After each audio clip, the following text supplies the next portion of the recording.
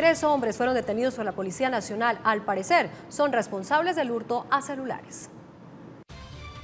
La policía capturó en Mogotes a tres personas relacionadas con el delito de hurto a celulares. Se trata de tres hombres de 33, 38 y 44 años, quienes habían llegado de Tunja a la localidad. En el operativo fueron incautados varios celulares reportados como robados y un vehículo en el que pretendían huir hacia Tunja.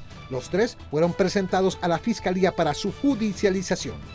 Canaltro.com